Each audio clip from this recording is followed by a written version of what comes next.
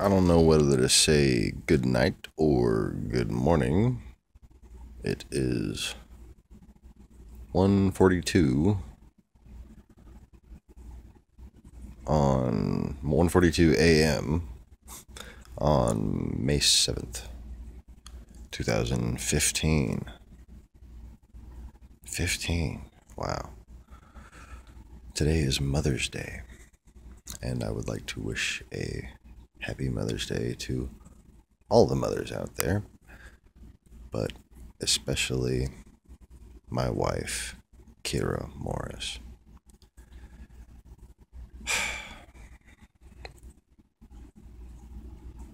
I'm just going to tell a story from my perspective.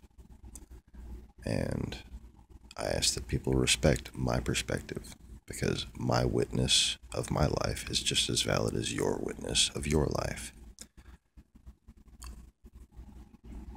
That being said, I admit my life has been pretty fucking serious. And, you know, I've, I've had people in my life accuse me of lying about having ever lived in New Zealand just because I guess my life was too interesting for them to believe. I'm not exactly sure why, but I'm going to tell a story.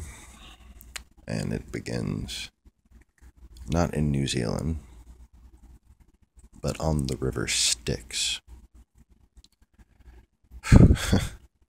and um, if you don't believe in the River Styx, I can show you on a map how this one river on the other dimension connects every continent, every major civilization center on the planet.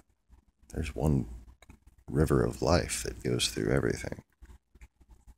Like a physical, actual river. It's interdimensional, but still, still a physical river. Yes, other dimensions are physical. Mm.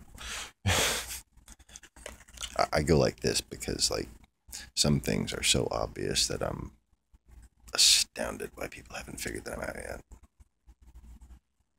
Like, the information is there right in front of you. You just haven't put two and two together. Anyways, um, I'm trying not to wake up the kids or my wife. Kids that way, wife that way. We live in a borderline trailerish prefabricated home. But the reason why we like this place is because the land. Oh, it's nice. It floods a lot during the rainy season, but the rest of the year, man, it's cool. So, anyways, my Murphy's, if you're watching this, happy Mother's Day. I love you so much. Oh, I know you're gonna watch this because I'm gonna sit you down and show it to you. Uh, so that's kind of if stupid. Wow, it really is late at night. I'm already babbling. River Styx, yeah, River Styx. Sticks. This. When you when you cross your fingers. Like pickup sticks.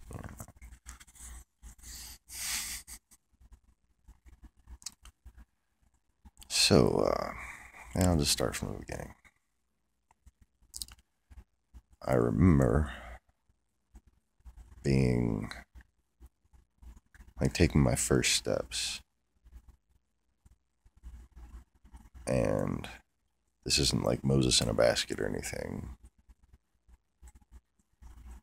At least not that I'm aware of. But I'm it's nothing to do with any person in a basket stories that I know of. There might be something out there about this, but I'm not sure. It would probably be in the Osiris myth, if anything. Um.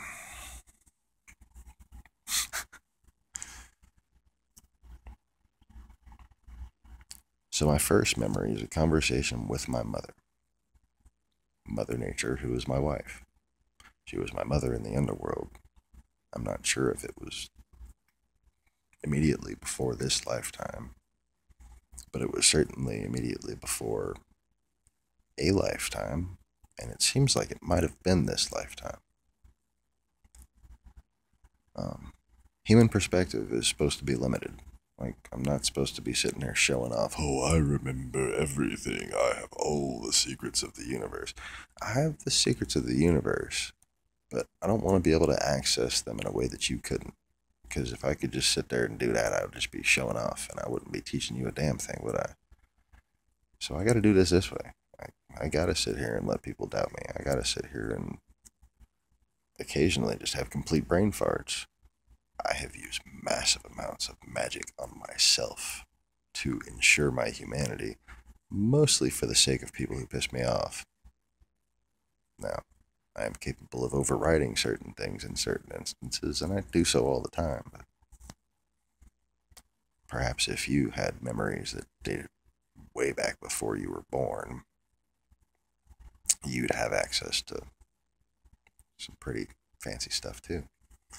And in fact, the way the rules that I set up when I destroyed and recreated the universe a couple years back, there's literally nothing I can do that my kids can't do. I'm, I'm you know, created in my image. Hmm. Only not as stupid looking because I'm old. Like, and there's only, there's only so many things you can do to a a human body while retaining memories to make it seem like a new one.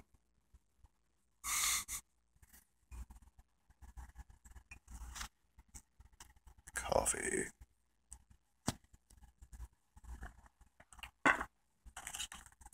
So, first conversation I had with my mother that was anything atypical of what most mothers would tell their children was when I was walking on the riverbank of the River Styx. I found a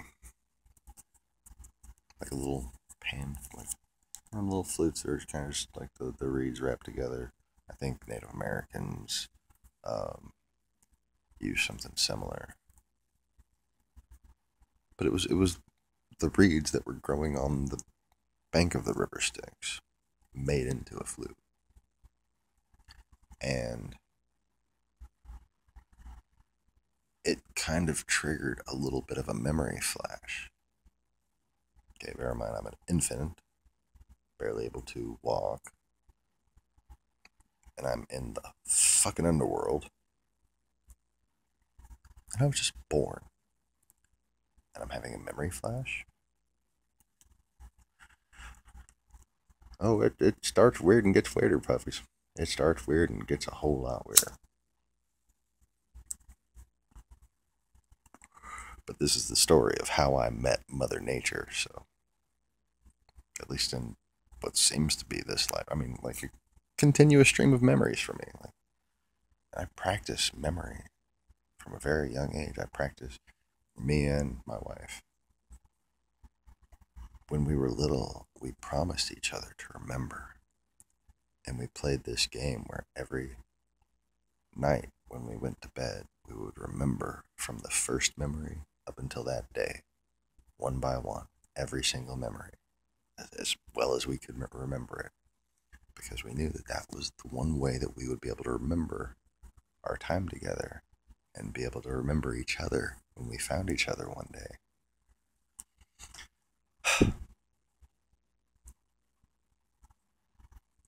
So, the memory flash I get was of what seemed to be this world. And it was kind of like dying in a dark alley with knowledge of an evil Peter Pan. Now, most people think evil Peter Pan, especially, uh, you know, three years ago, three and a half years ago, when I started trying to tell other people about these memories. big mistake. Uh, just kidding.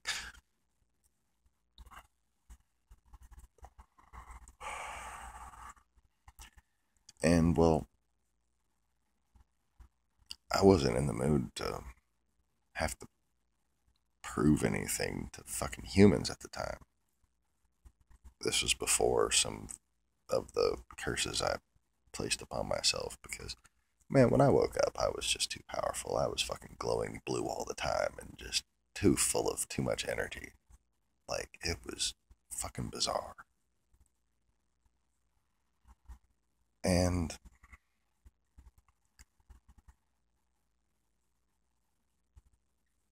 I got in a conversation with my wife and Brian and Terry. I was trying to tell them like all the all the nursery rhymes and, and ancient little children's riddles. There is more truth buried in those things than there is in any of these fucking so-called history books. And I, I guess if you think about it, it makes perfect sense. Like if if you're a a race on the run, if you're a culture on the run, and you're being oppressed and chased down, exterminated, one of the things that the Khazarian Empire that Russia still does to this day is lets women and children live and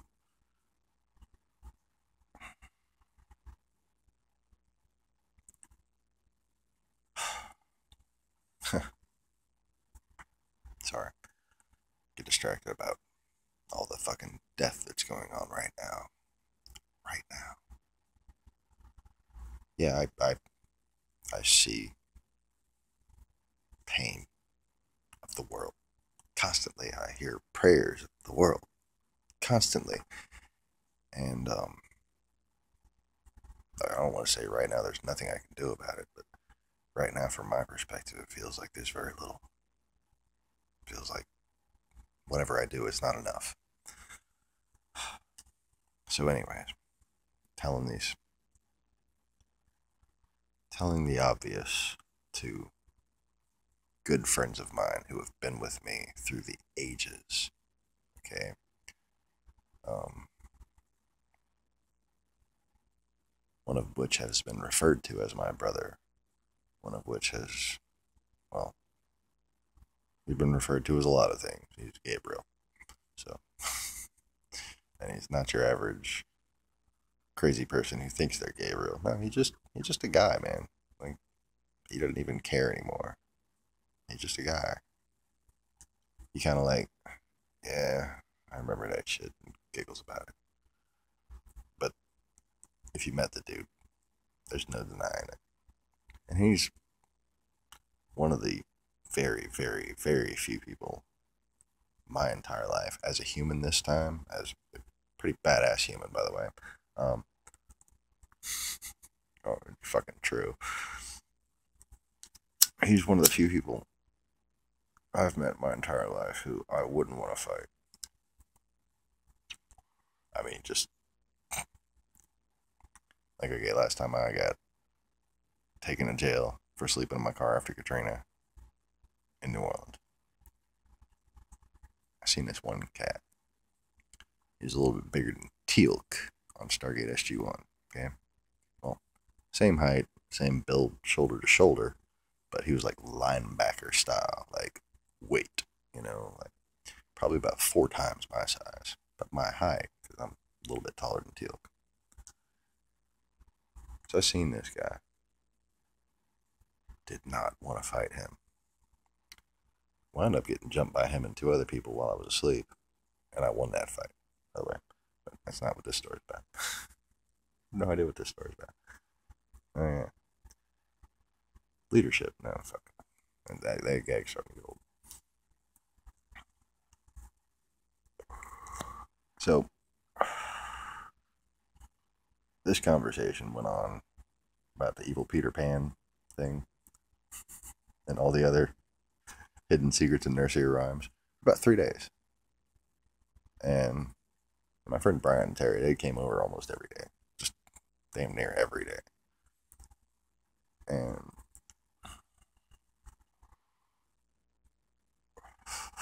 I don't know how this particular continuation of the conversation came up, but basically what I said was All right. The muses have been the angels behind perpetuating these stories and keeping them safe and in the hearts of children for generations.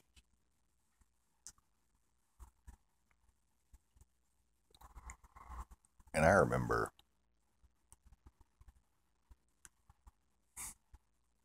I remember a very Tinkerbell like creature coming to me when I was a baby in this life, in this world, teaching me the old stories, which is kind of fucking bizarre, but that's for another day. And I talked about this with him. I'm like, it seems really fucking silly, but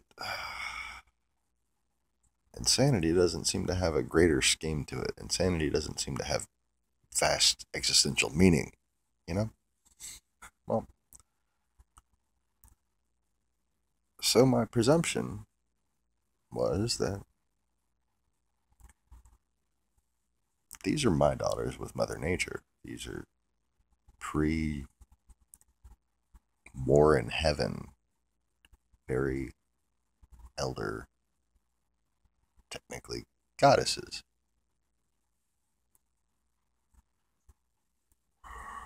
Yeah, fucking crazy shit. Um,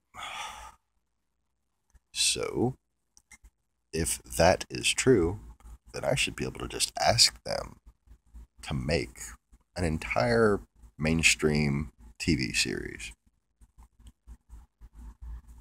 to explain the truth from the ancient age, the time before time, if you will, about how all these stories might have really happened in a way that modern man could benefit from and relearn some values that seem to be getting forgotten, especially the value of true love and that true love exists it's kind of sad that most people don't believe in true love. What the fuck do you people live for, you know? If you don't even believe in true love, you don't even think that in one lifetime, one day, that you might, you know, like male and female, you're male or female. You, you will find your other part one day, one lifetime, somehow, some way. They might not be incarnated right now they might be incarnated as the same sex as you right now. But one day in one lifetime, you and your soulmate will have a family. Okay? Grow up. It was a hand gesture, just kind of shadowed my face. Shadow on the face.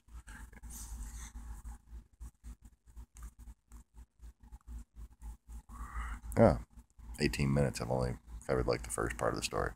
Not even. So basically, I said, if this is true, because like I said, throughout the entire experience, I was maintaining a purely skeptical string of consciousness. Well, when I wasn't, I was fucking glowing blue. So I tried to, as often as possible, maintain a purely stream of purely skeptical stream of consciousness. So I said, if this is true, if my soulmate and I have daughters that are the ancient goddesses, the sirens and the oh, not the sirens, the muses. Well, sirens too, but another story. Got a lot of stories. A lot of stories. Oh my god. Wait, shit, that's me. Um, well, actually, I, I don't have a god. I have a goddess. My wife.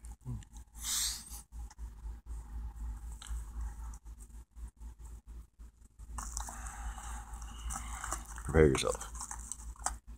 Because this is extremely fucking silly. But if you're willing to acknowledge the fact that I'm not lying right now, this should be proof enough, period, that I'm not your average fucking human. Okay? In fact, the likelihood of me being human at all and being able to do such a thing is fucking preposterous. I said, if they're my daughters, if they're our daughters, they should make this TV series for us. What do you want to call it, dear? And she just kind of looked at me and smiled. Once upon a time.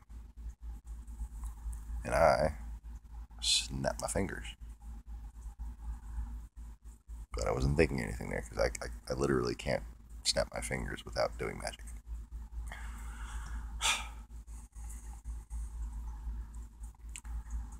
And actually realized no, wait, we'd have to wait too long.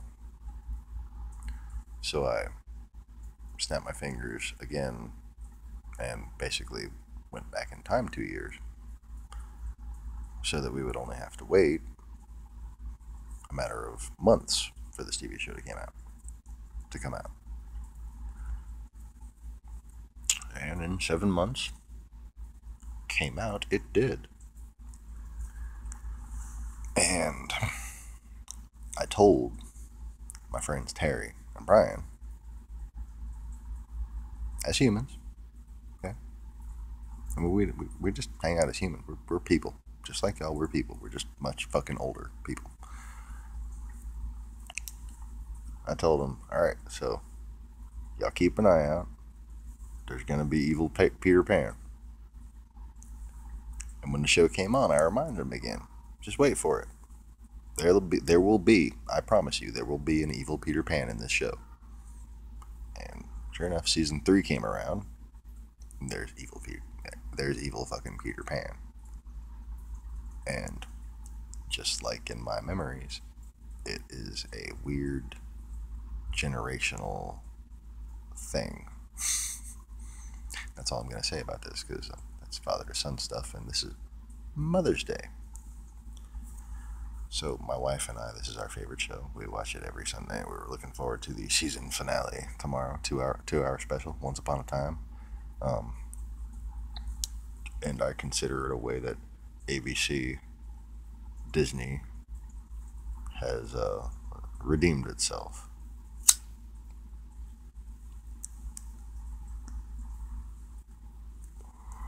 And you know, like I said, there's people on this planet that aren't human.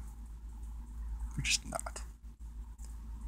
And those people have no problem recognizing me. And all in all, any any organization that is under the control of those beings, I'm able to influence directly those are my kids. And we get along a lot better than most people think. Because they're my kids.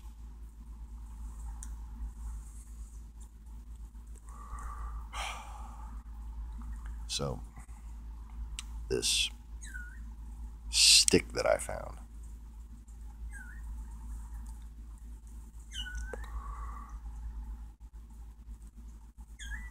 four pipes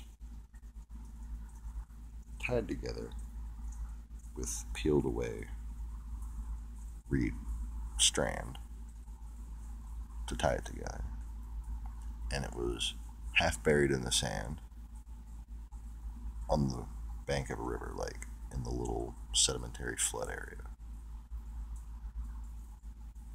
As in, uh, when I lifted it out of the sand, shook the sand out of it, brown, like spillway kind of. If you're not from New Orleans, um, like brown riverbank sand. A little bit of water filled up the hole. You know, it was that close. And well, that's pretty much where that memory is. Ends as far as the, the pipe itself goes. But at that point, my mother started informing to me informing me of the plan that I was about to risk my existence undertaking. In a fairly real sense. I mean, I risked the total annihilation of of myself willingly just to kind of prove a point. That that point is not the point of this video. But basically, there was a lighthouse of sorts. It was a, it was a, it was like a, a towering pyre of a castle, okay? and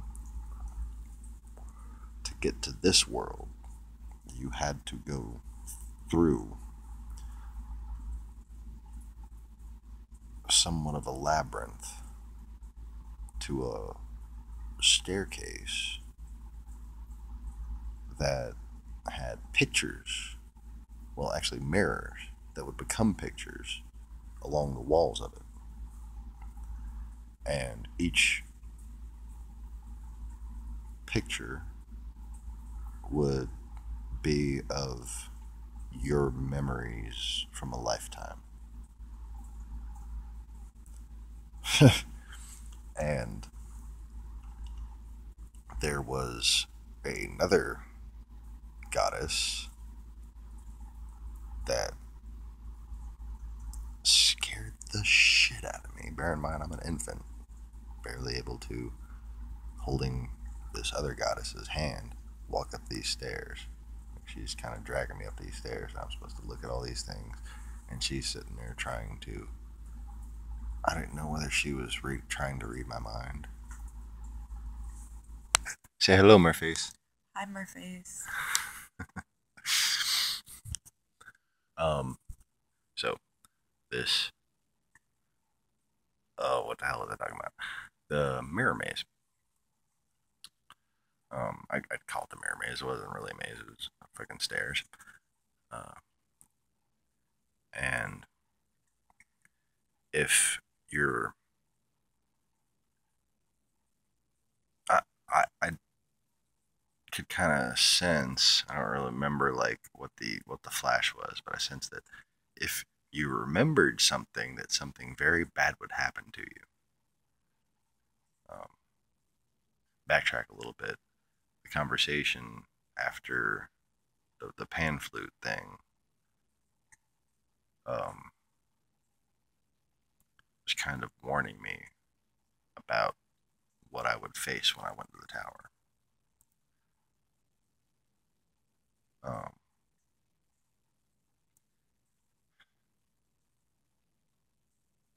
so I get to the last mirror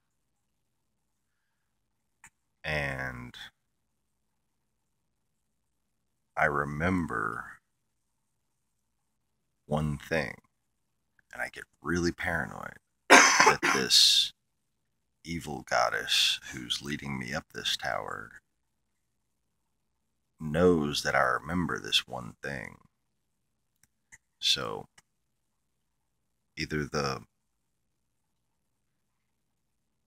I don't know, the, the magical mechanism that tested you is in the mirrors, or, and she couldn't read my mind, or if she could read my mind, and this is what I think is actually true, that you're allowed to take one single thought with you when you come to this world to help you find your path. Oh, my hair looks great. It's the middle of the freaking night. I took a shower, woke up, it's all poofy. um, TMI. Um, she's just Facebooking. Um, so, yeah, true love. That was the one thought that I take when I came to this world. And I remember being stuck in a tree for a really long time, like stuck in a tree, couldn't move, stuck in a tree for hundreds of years. And I remember every fucking agonizing, irritating, tedious second of these hundreds of years. But what I don't remember is whether or not it was before I was born on the River Styx or whether it happened between the lighthouse and entering this world. So, yeah.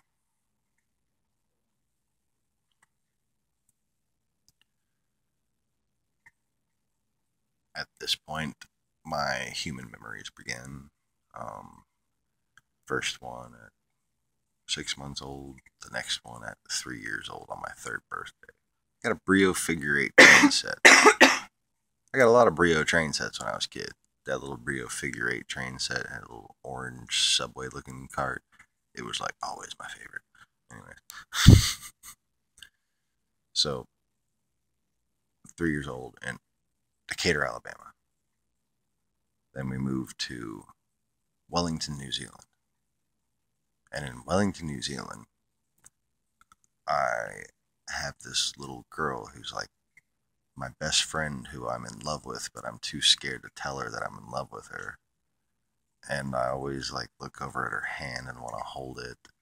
And every day we had just very weird magical times together. And every night we would meet each other in our dreams and have even more weird, more magical times together. Like creating animals, creating plants, creating continents, you know, like we just we just like to make stuff. And all these dreams and even this girl became even though we promised each other that we'd always remember each other it became more of a fantasy to me throughout my life. And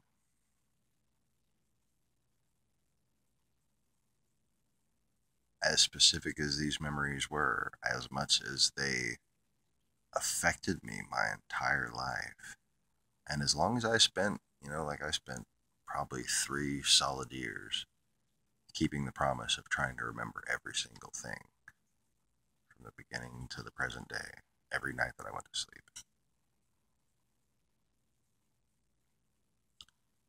But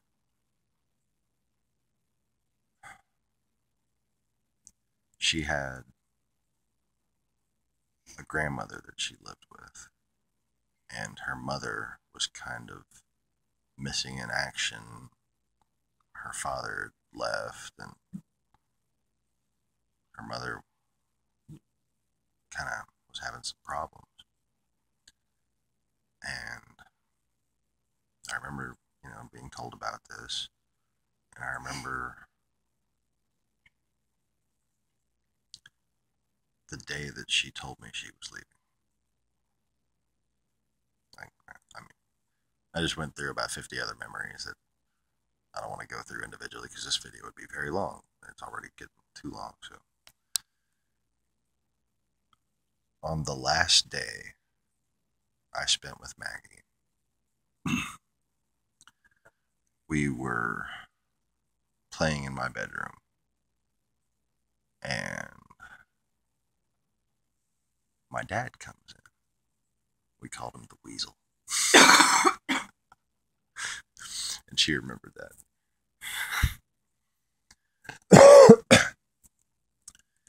and my dad told me he had to talk to me for a second. And I told Maggie I'd be back before she could say supercalifragilisticexpialidocious. Because at the time, she was physically like two and a half. She seemed mentally vastly, vastly older than me. She seemed like some kind of fairy goddess, and I always, like, I had no idea who I was. I was just a little boy. Just a little boy. But I thought she was Mother Nature. I thought she was like the fairy goddess. I thought she was like this super being trapped in a little girl's body. As far as I know, she was. So at the time, she could not say supercalifragilisticexpialidocious.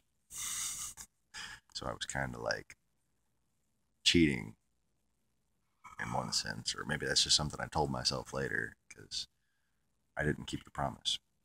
My dad took me to Sydney on the ferry to his work at Intergraph, and we watched Return of the Jedi on this big screen TV that was in the office in there.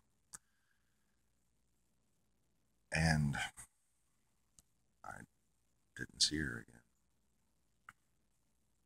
The day before that, she had told me that they found her mother and that she was going to go live with her again. And I remember being so heartbroken and wanting to be like, she's that can't be your real mother. Like, what are you talking about? They didn't find your mother. It's like an evil conspiracy, man. Like, I didn't even know the word conspiracy at the time, but I just couldn't say anything because it was like, as much as I didn't want to lose her, she found her mother, and she was so happy and like just frantic, hysterical, wanting to see her mother again. And we, that night in our dreams, we sat by the tree where we created everything. And we watched the sunrise for what seemed an eternity. And we ate Smarties. I think that was the only time I actually got to hold her hand. As many times as I looked over at it, and like, I mean, I look at her hand today and I know that's the hand. I remember when I was younger thinking that it looked like my mother, my, my physical mother in this lifetime's hand. and like I remember the differences. I remember looking at my hand and comparing the similarities. I remember that our fingers were all the same shape. To this day, our, our fingers shape on both hands.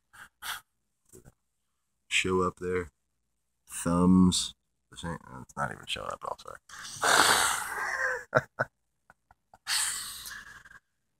okay, so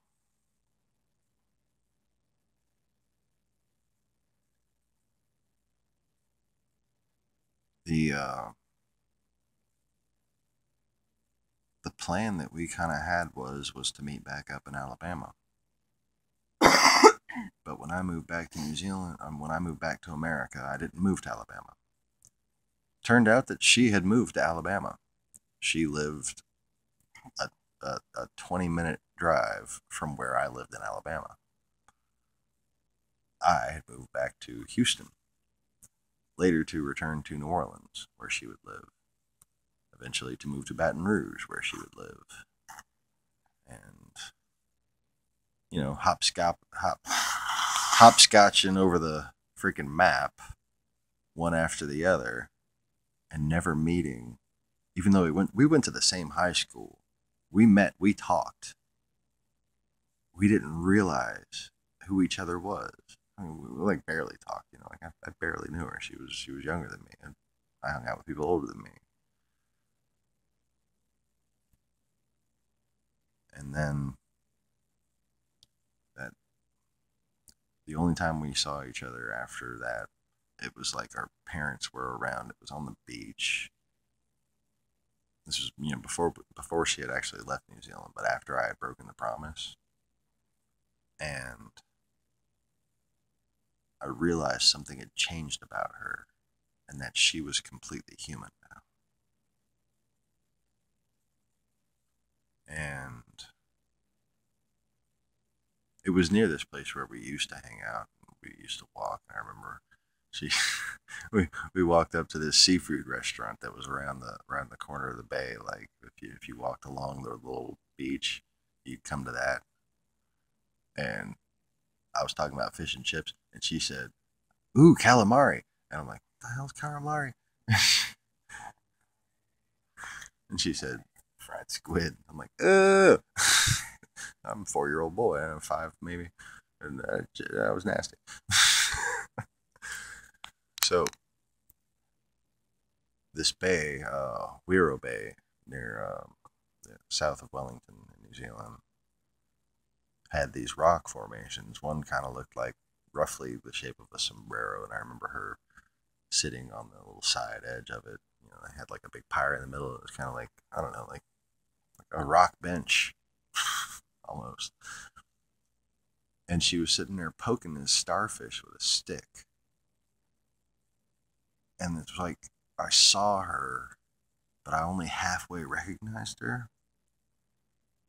And I ran up to her and I said, What are you doing? You, you can't do that anymore. Because I knew what she was doing. She was trying to bring it back to life.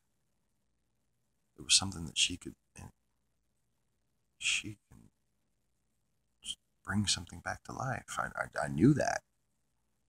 But I knew that I had like this really deep kind of subconscious understanding of things.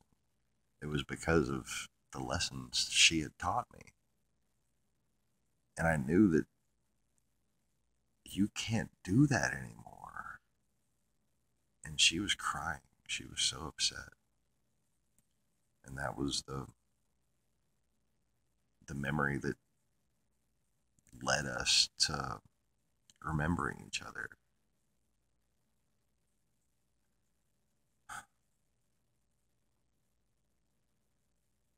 My wife is the goddess Mother Nature. And she has been more tortured, more used, more abused, more trodden than any other soul in the history of existence. And her children have enslaved her metaphorically and physically. She has been deleted from history. She was imprisoned and used for a thousand years.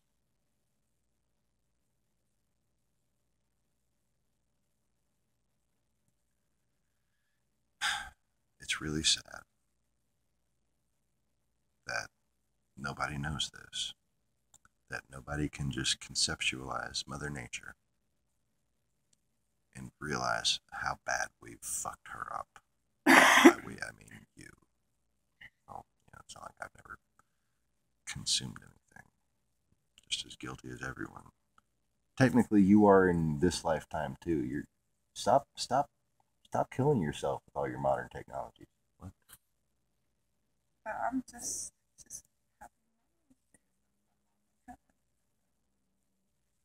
miss my mom. She is her own mother. I miss That's awkward. Yeah, you miss yourself. her mother died before her soul re entered her body. That's kind of weird. Um, oh, 43, 48, 49, 50. Hmm. So yeah, the point of this video is anyone who watches it, that's the short version of my story of Mother Nature and how she changed my life and how if it wasn't for her, I would just be another sleeping, stupid human. And technically, and those with understanding, please listen. Even though I have all the power of the universe, phenomenal cosmic powers, bitty living space, that kind of thing. Any power that I wield in this world, her power.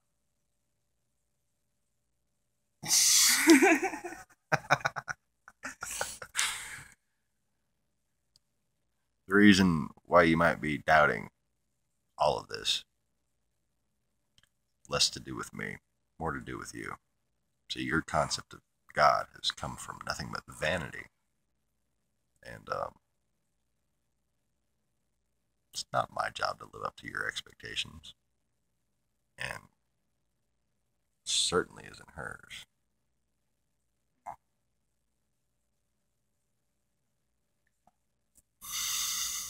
Yeah. We're very sleepy. It's now three. Holy crap. It's. Yeah, it's almost three o'clock in the morning. Um.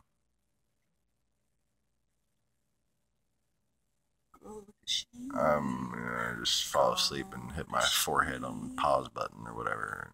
And, uh, it didn't work.